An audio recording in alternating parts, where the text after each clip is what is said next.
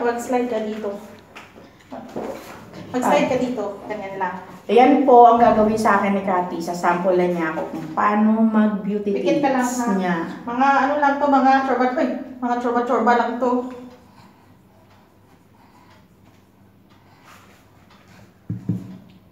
Mga chorba-chorba lang to. Hindi, malapot ba yung brush? Mm. Hindi, o hindi masyado. Kung, ma, kung, na, kung masakit, at ano ko na, kakamay ko na. Malay mo makakita kasi Jo at ata si ate ng forever niya dito. Ay, yun na yun. Massage-massage ng konti. Alam mo, pag minamassage mo to, kasi dahil sa ano, sa honey at saka sa olive oil, feel na feel mo yung smoothness ng skin mo. Tapos, irarab mo lang siya ng irarab, rab, rab, rab, rab. Kasi wala si Joy dito, iniwan kami eh. Wala kaming magawa sa wala kaming buhay. magawa mag-isa. Ayan. Ganito yung ginagawa namin dito habang wala kaming trabaho. Mas maganda kasi paggamit yung ano yung kamay kasi maano mo talaga siya. Pero wala nang gloves gloves wala nang microbe yung kamay ko eh. Mamatay na yung agad-agad. Careful lang tayo sa eyes kasi baka mapasukan. Alam mo ba, te, pag araw-araw mo itong ginagamit, kahit 3 times a week lang matatanggal itong mga ano mo, itong mga ano mga blackheads. Massage-massage lang ng konti. Maganda din to para sa mga dito, sa mga kamay-kamay. Tingnan mo, di ako mukhang 545. 45 talaga. Oo. 45 na po daw siya. Kanya-kanyang paraan lang yan. Tinga, te. Lagyan natin ng ano.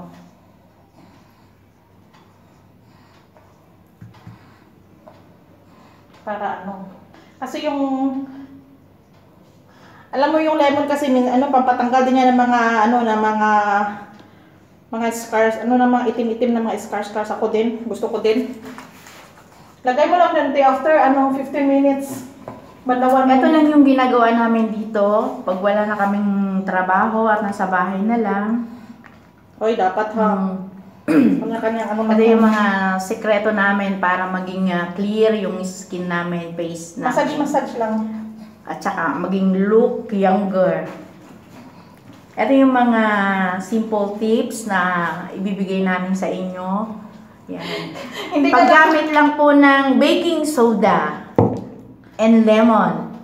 Napakasimple at kayang-kayang ah, bilhin at makikita nyo sa mga kitchen. Hindi, hindi pa ito umabot ng 5 real eh. Yan. Ganyan lang po yan. I-rub lang po ng ganyan. 5 to 10 minutes para ma mawala po yung mga dead skin natin. Mga dead skin, oo. Para ma-clear kaya gagamit natin ng sabon. Alam mo ba dati, te, yung mukha ko, no? Mm. Yung parang sinusumpa kong mukha, ano? Hindi ko rin alam kung paano yung natanggal lahat-lahat. Before po yung face niya, marami po siyang pimples. So, nag-start po siyang maggamit nito. Bawang at saka Yan. ito yung ano ko, finishing ko, finisher ko. Ganyan lang po siya. Kung gusto niyo maging mga pinkish, yung mga face nyo, ayan. Paggamit po ng baking soda, lemon, olive oil, and honey. Yan lang po yung ingredients. Ayan, ganyan lang po. Ganyan lang po tayo. Hirap po natin. Diba? Napakasimple. Yan. See. Pagkatapos po niyan, i-leave nyo lang po mga 5 minutes and hugasan na kaagad. Normal lang, hugas lang. Mm. Wala nang chorba-chorba. Lagyan nyo na ka, ano, para yan na. Maganda na yung resulta. Nakikita nyo na ang resulta. Napakalambot ng skin nyo. Yan. Yan ang aming beauty secret for today. Sana At saka, ma- wag masyadong- meron kayong natutunan. At saka pag nag ano para sa ano, wag masyadong maglagay na masyadong maraming cosmetics. Mm.